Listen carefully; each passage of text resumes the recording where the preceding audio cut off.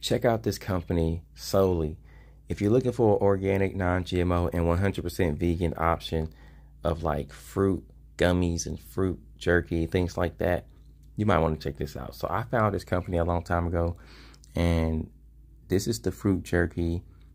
The ingredients, it says just one ingredient. They boast about that, but it really is, according to what it says, organic pineapple, and that's it.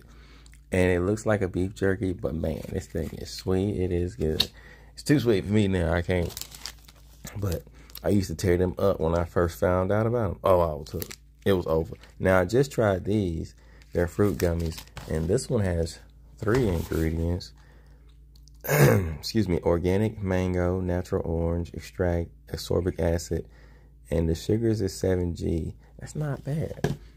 I was tearing these up before the video. All right, y'all. Check them out if you want.